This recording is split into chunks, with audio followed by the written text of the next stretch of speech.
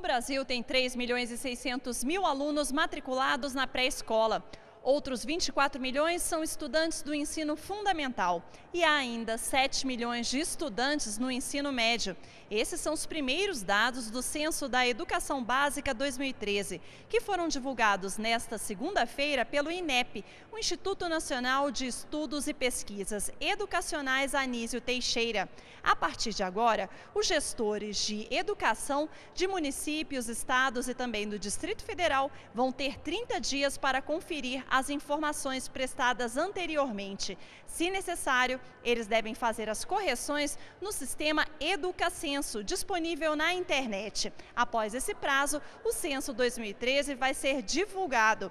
Esses números são usados para fazer a distribuição dos recursos do Fundeb, o Fundo de Manutenção da Educação Básica e de Valorização dos Profissionais da Educação.